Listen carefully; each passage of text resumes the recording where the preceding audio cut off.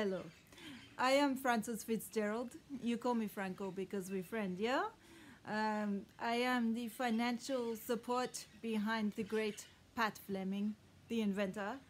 He uh, he make a new steam train, faster, better, really good train. And we have a big launch party on this Saturday night at 8 o'clock.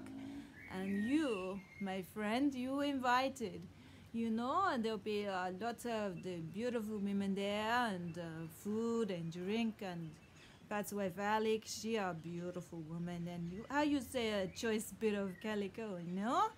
Anyway, um, there will be so much fun. There will be a speaker from the Victoria Railway will be there. We're gonna make a lot of money too. So uh, you just come along, you just have a good time, and don't be late and don't be shy because I'm a nice guy, you know. So come on over, 8 o'clock, Saturday night.